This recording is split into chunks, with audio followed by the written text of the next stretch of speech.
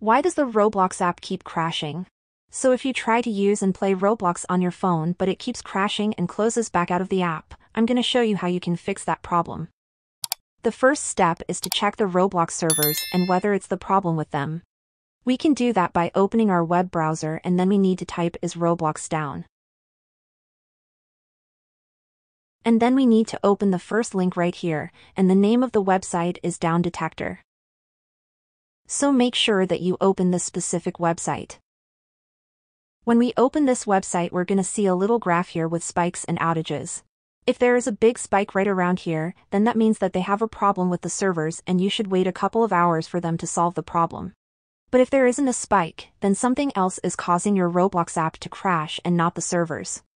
What you want to do next is to open the settings on your phone. Then open the general settings right here. After that we want to tap on iPhone storage. This is for our iOS devices. If you use an Android phone, then open your settings, find the Roblox app in there and then you need to clear the cache and reinstall the app. But if you use an iPhone find the Roblox app on this list and then open it. And click on Offload App, and after the app offloads simply reinstall it.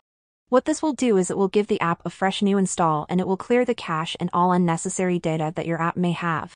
All of that data and cache may be the reason why your app was crashing in the first place so give it a reinstall and offload it. After you finish with these steps you should be able to open Roblox and use it without a problem or crashing. If this tutorial was helpful to you and you were able to solve your problem, then leave a comment down below and subscribe to the channel for more tutorials like this in the future. Thank you so much for watching and see you in the next video.